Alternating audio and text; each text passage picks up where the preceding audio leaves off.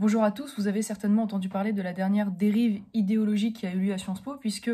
récemment un professeur de danse a été euh, écarté, eh bien tout simplement parce qu'elle souhaitait respecter dans le cadre de ses cours le rôle de la femme et le rôle de l'homme. Cela a été jugé discriminatoire par une partie des élèves, et malgré euh, des années de bons et loyaux services, eh bien elle n'a pu euh, rester en poste. cet énième épisode s'inscrit dans une longue lignée d'exemples de la dérive woke qui sévit aujourd'hui dans cette grande école. Pour ne citer que ces exemples, euh, il y a quelque temps, euh, Sciences Po euh, proposait des points bonus si on utilisait l'écriture inclusive. Il y a des ateliers obligatoires qui ont été mis en place sur le genre ou sur les LGBTQ+, phobie. Et il y a également des cours sur la sociologie de la race qui ont été mis en place, pour ne citer eh que cela. Les IEB de province ne sont pas en reste, et je dois dire que sur SPO Grenoble se distingue tout particulièrement. Il y a quelques mois de cela, souvenez-vous,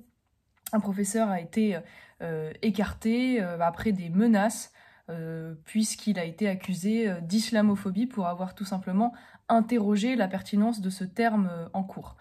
Eh bien malheureusement, ce, ce constat ne s'arrête pas aux grandes écoles et frappe bien souvent l'ensemble du système universitaire et donc face à cela, eh bien, il nous faut soutenir toutes les initiatives euh, scolaires euh, qui existent pour permettre à nos élèves et à nos étudiants de retrouver le chemin euh, de l'excellence, de l'esprit critique dans des lieux qui se refusent à toute forme d'endoctrinement et de propagande. L'ICEP fait partie de ces lieux-là. Il y a très très peu aujourd'hui d'écoles supérieures qui se donnent pour mission de renouer avec l'esprit originel de l'université, c'est-à-dire leur recherche du bien, du beau, du vrai, un attachement particulier à l'esprit critique, le refus de dire aux étudiants ce qu'ils doivent penser,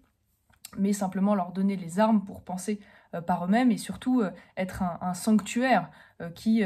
protège les étudiants de toute forme d'idéologie. C'est pourquoi je vous invite à soutenir l'ICEP, puisque ce genre d'initiative n'existe que grâce eh bien, au soutien de personnes qui croient en l'utilité de ce genre de projet. Il n'y a, je le rappelle, aucune subvention publique, et donc je ne peux que vous inviter en cette période eh à, nous aider à faire avancer ce projet et à accueillir de plus en plus d'étudiants